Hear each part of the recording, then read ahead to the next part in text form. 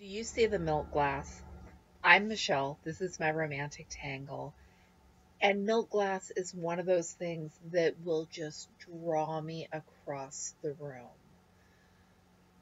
I spotted this out of the corner of my eye as I was walking by, and then I had to kind of wait and dawdle so that people would get finished looking at they were looking at so that I could go down to the end of the aisle and take a look at it myself. I started to say, get out of my way, but no, they have all as much or more right to be looking at the stuff in this aisle as I do. And thrifting these days requires patience. If we're going to keep a reasonable distance between ourselves and other people, which we should, that means we have to wait our turn. I cannot believe how much milk glass there was here. This was my favorite piece. I really like those sharp diamonds. I know there's a name for it. I don't know what the name for it is. And I wanted to bring it home, but I didn't because I can't bring it all home.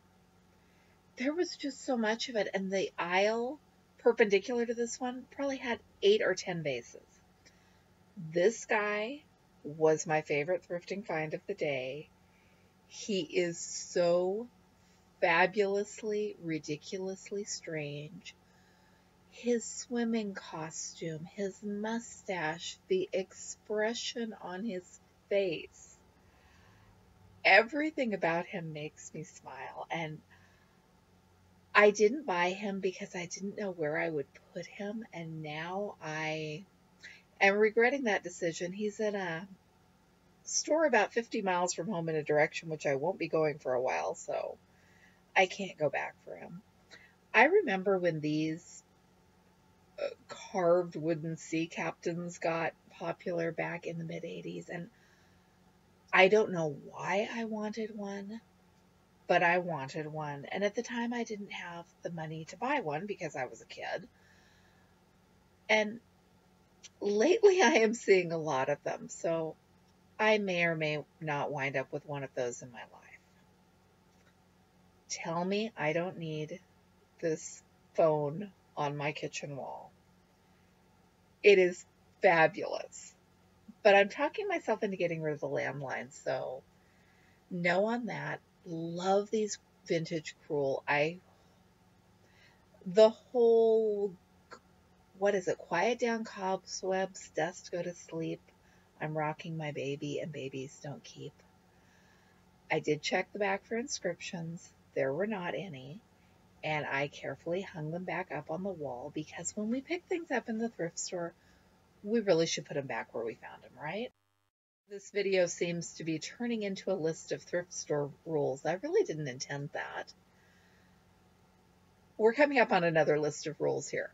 As many years as I have been homeschooling, I've managed to avoid homeschooling rules. These actually aren't bad at all, and if we weren't so close to the end of our homeschooling journey, I might have thought twice about bringing those home and putting them on our wall. Some perfectly nice quilts here. I've been seeing a lot of quilts over the past year or so, and I don't know if it's because I am looking at them more closely as I film these videos or if there are more of them out there. I hope they have served their purpose. I was really tempted by the scrapbooking paper. I have ideas for that. I was also keeping myself on a tight budget and I told myself that I would go back next week and see if they were still there and if they'd been marked down. Well, it's now next week and the roads are icy and I'm not going anywhere, let alone to the thrift store to look for marked down scrapbook paper. I have better judgment than that. But I mean, this is the same store where I went back, what was it, four times in three weeks looking at that cross stitch dollhouse. So there's a chance they might still be there. And I also told my sister I'd go back and see if they still have any of those teacups that I bought her for Christmas because there was a huge set and I only bought a few. So Cross your fingers for me if you're so inclined. I would appreciate it.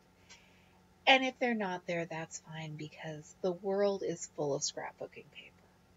Maybe not full of scrapbooking paper with vintage Wizard of Oz prints, but it'll be okay. Take a look at the needlepoint yarn. I told myself I don't need needlepoint yarn, and a couple of shops later, we're going to find a reason maybe I should have bought that. I looked at this bag a lot, and the colors, they were close enough to coordinating that I almost thought they'd make a great baby quilt, but they were, it wasn't quite coordinated enough to convince me. If there'd been more variety in there, that would have been the secret. And they had a skein of wool lights, which I have worked with before. I love it. A dollar isn't super duper cheap for that. I buy it new on sale for $1.99 or have in years past, but it came home with me. And I really worked hard to talk myself out of that gray fabric in case you can't tell by the fact that I've now picked it up twice. In hindsight, I'm glad I didn't buy it.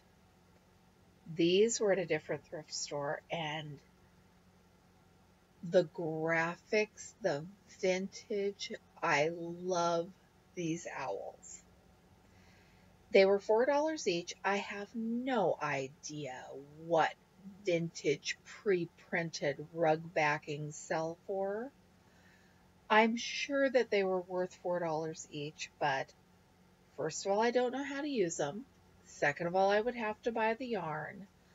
I came up with a lot of reasons to tell myself why I couldn't have the owls and the covered bridge and the wishing well, which are like my absolute favorite subject matter.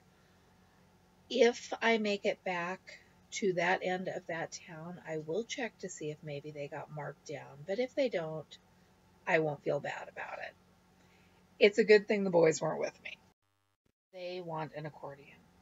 I don't know how to tell if an accordion is functional or not, and that's going to be my excuse for not buying them one. It looks like somebody loved this and played lots of music on it. They also would have liked the Advanced Dungeons and Dragons manual. They might have talked me into that. I apologize for the vertical video for these last few seconds, but I needed to show you how many vases there were on the aisle leading up to the stuff I started the video with. Thanks for watching. I'm Michelle. This is my romantic tangle. Let me know if you saw something here that you would have brought home. I'll be back with more videos soon. I'm looking forward to getting back to thrifting.